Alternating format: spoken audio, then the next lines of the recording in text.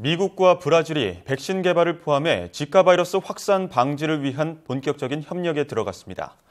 카스루트 브라질 보건장관은 우루과이 수도 몬테비데우에서 열린 중남미 보건장관 회담에 참석해 미국의 보건당국과 질병 전문가가 오는 11일 브라질을 방문해 백신 개발을 위한 구체적인 협력 방안을 모색할 예정이라며 이같이 밝혔습니다. 앞서 버락 오바마 미국 대통령과 지우마 호세프 브라질 대통령은 지난달 29일 전화 통화로 지카 바이러스 백신 개발을 위한 고위급 실무그룹 설치에 합의한 바 있습니다.